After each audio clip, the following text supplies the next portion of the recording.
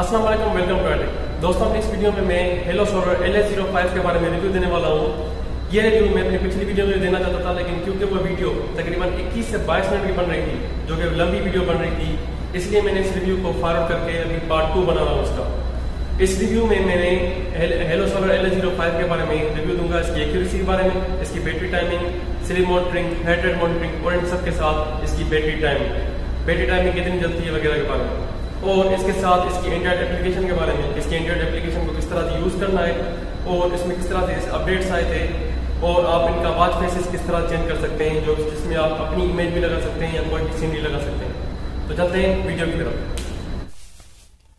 जी दोस्तों तो मुझे तकरीबन इसको यूज़ करते हुए एक महीना हो गया है और अभी इसकी मैं बैटरी देखना चाहूँ, आपको बताऊँ तो 13 परसेंट बैटरी बची है मैंने इस वॉच को चार्ज किया था तकरीबन चौदह जनवरी को और चौदह फेबररी चल रही है आज। इसकी बैटरी 13 परसेंट चल रही है अभी तक। इस बीच में मैंने तकरीबन चौदह तारीख को अगर चार्ज किया है तो मैंने तकरीबन सोलह तारीख को इसकी जो हार्ट बीट मॉनिटरिंग है, आप देख सकते हैं ऑन कर दी थी इसकी। तो हार्ट बीट मॉनिटरिंग इसकी तकरीबन 28 से 29 दिन कंटिन्यू चली है। और इसमें आपको मैं बता दूँ कि इसकी बैटरी जो ज़्यादा कम होती है, वो इसलिए होती है क्योंकि अगर आप इसको ऑटो ऑन कर दें मतलब अगर आप इसको मूव यूँ करेंगे वाच को अगर मूव करेंगे तो इसकी ऑटोमेटिक स्क्रीन ऑन हो जाएगी और फिर आप इस पर टाइम दे सकते हैं। इससे बैटरी जो है वो ज़्यादा कंज्यूम होती है क्योंकि अगर आप ना भी देखना चाहें, चलते हुए, फिरते हुए भी कभी कभार ये ऑटोमेटिक ऑन हो जाती है। तो इसकी बैटरी अगर आपको बचानी है तो आप उसको बेशक ऑफ़ कर दें और हार्ट बीट से इसका कोई लेना जाना खास नहीं है। मैं तकरीबन एक महीना हो गया है मतलब 16 तारीख को अगर मैंने इसको ऑन किया है तो आज फिर भी चौदह तारीख है। अट्ठाईस दिन अगर आप काउंट करें तो भी इसकी बैटरी अभी तक थर्टीन परसेंट है। मतलब ये बैटरी अभी भी तीन से चार दिन चल सकती है आराम से। तो एक महीने का आप मार्जिन लगा लें कि ये महीना बैटरी चल जाती है इसकी। इसके अलावा इसमें एक अपडेट आई थी जिसमें फेसेस आप चेंज कर सकते हैं। आप सेटिंग्स में जाएँ और सेटिंग्स में वॉच फेसेस का ऑप्शन है। लेकिन वॉच फेस जो अगर आप चेंज करना चाहें तो वो इसकी एप्लीकेशन में ऑप्शन है, वो मैं आपको दिखाऊँगा कुछ देर में। ये वॉच फेसेस तो ये शुरू से ही थे, लेकिन इसमें जो कस्टमाइजेशन है वो ये है कि आप अपना फेस भी ला सकते हैं और दूसरे भी इसमें वॉच फेसेस आ चुके हैं जो आप लगा सकते हैं, वो लेकिन एप्लीकेशन के थ्रू लगा सकते हैं जो कि आप एंड्रॉयड में आयो इसमें चलाएँगे। इसके अलावा इसमें अगर मैं आपको बताऊँ तो अच्छी चलती है ये बैटरी कंजप्शन अगर मोबाइल की चेक करें तो अभी मोबाइल की शुरू में मुझे लग रहा था कि मोबाइल की बैटरी ज़्यादा यूज़ कर रही है इसकी ब्लूटूथ, लेकिन ऐसा नहीं है।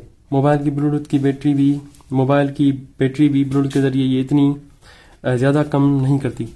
स्टेप काउंटिंग के हिसाब से मैं बताऊँ तो एक्यूरेट है, इतना एक्यूरेट नहीं, लेकिन यह है कि एम आई बैंड फोर मैंने M I band three use की थी, उससे अच्छा है।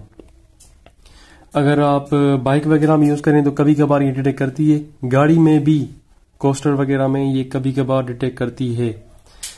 बाकी आमतौर पे नहीं करती। अगर आपकी कोच वगैरह है या अच्छी गाड़ी है कार वगैरह करोला इस तरह की कोई रिलैक्स कंफर्टेबल गाड़ी है तो ये डिटेक्ट नहीं करती उसको स्टेप्स वगैरह को। हार्ट बीट इसकी आ, सही काम कर रही है। आ, ये मेरे स्टेप्स और किलो किलोमीटर और किलो कैलोरीज वगैरह ये हार्ट बीट मैक्सिमम 48 पे गई है मिनिमम 47 पे। तो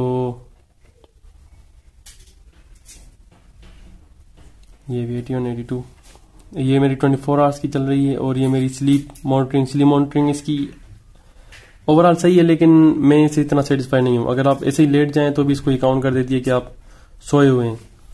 लाइट स्लीप में, लेकिन ये लाइट स्लीप में भी इसको काउंट कर देती है। वेदर की रिपोर्ट ये आपकी एंड्रॉयड की एप्लीकेशन से लिखती है और वो एक्यूरेट है या नहीं, वो तो आप इंटरनेट पे चेक कर सकते हैं।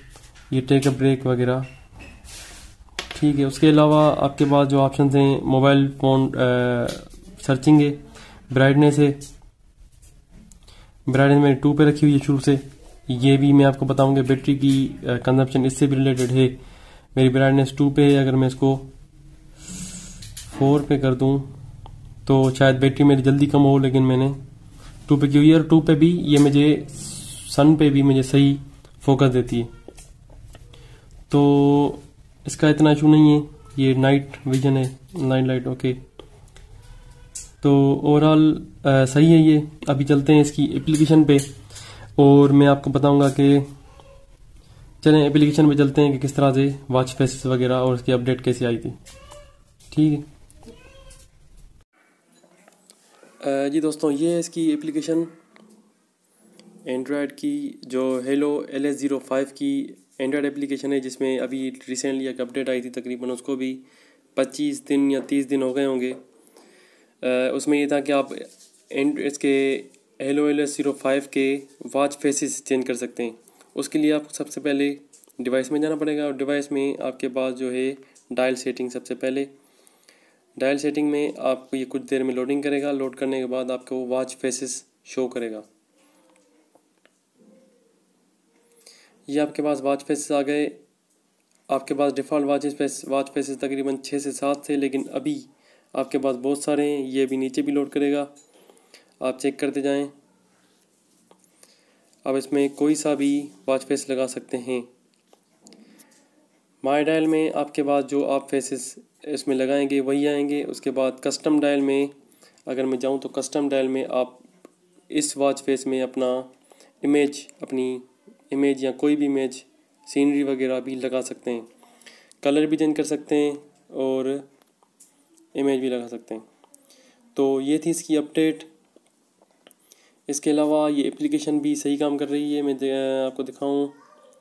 हार्ट रेट मॉनिटरिंग मेरी ऑन की हुई है कॉल रिमाइंडर आपका स्टार्टिंग में ऑफ़ होता है। एसएमएस रिमाइंडर भी एसएमएस रिमाइंडर भी ऑफ़ होता है। और उसको इन दोनों को ऑन करना पड़ता है और एप रिमाइंडर जो है वो ऑन होता है जिसको ऑफ़ कर दिया है मैंने क्योंकि मुझे व्हाट्सएप पे और फेसबुक वगैरह पे ज़्यादा मैसेज आते रहते हैं तो इसलिए मैंने इसको ऑफ़ कर दिया है ताकि वो मैं अपनी मर्ज़ी से चेक कर सकूँ।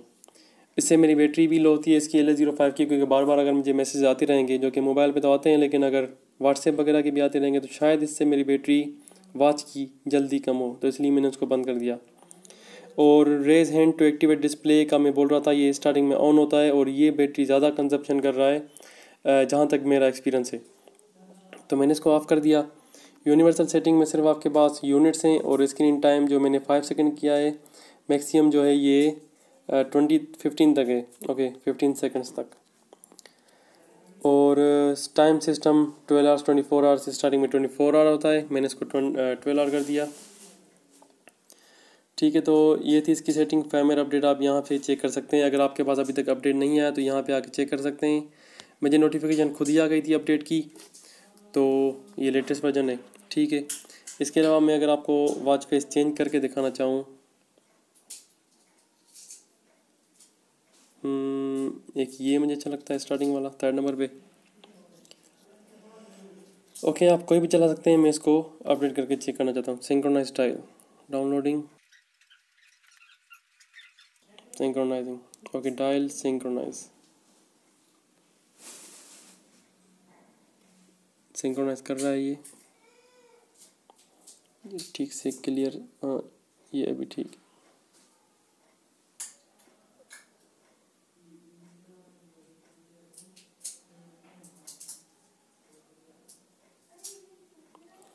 जब तक ये सिंक्रोनाइज हो जाए, आप मेरे चैनल को सब्सक्राइब कर दें और चैनल को लाइक भी कर दें, सब्सक्राइब भी कर दें और शेयर भी कर दें अपने दोस्तों के साथ, क्योंकि ऐसे ही मैं वीडियो शेयर करता रहता हूँ आपके साथ। और बेल आइकन पर भी प्रेस कर दें ताकि आपको मेरी नोटिफिकेशंस मिलती रहें।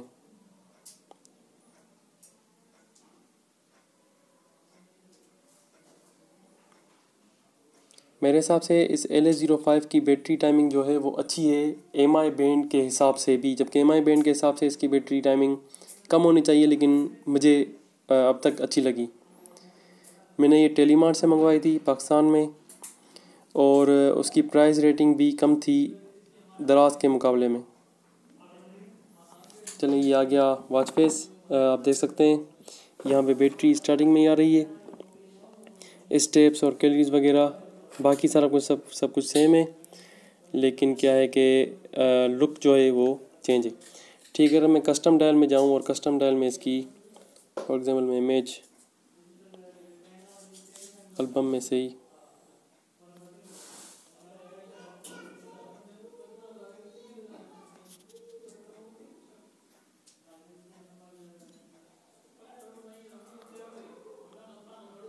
ये कर लेते हैं, कोई भी। जस्ट चेक कर लेते हैं। Okay group and black no blue green orange okay red I guess बेहतर लग रहा है। तो सिंक्रोनाइजर डायल कर देते हैं। आप इसमें कोई भी इमेज लगा सकते हैं, अपनी इमेज लगा सकते हैं।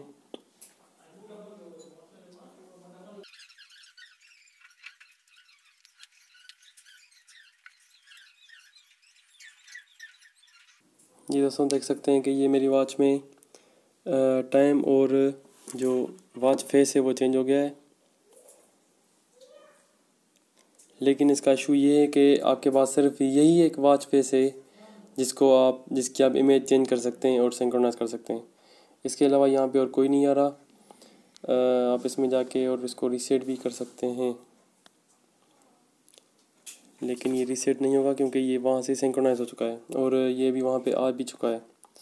रीसेट करके आप सिंक्रोनाइज करेंगे तो ये रीसेट हो जाएगा। डायल फेस में डायल सेंटर में जाके आप अपना वापस भी कर सकते हैं अगर आपको वो पहले वाला डायल समझ में ना आए तो।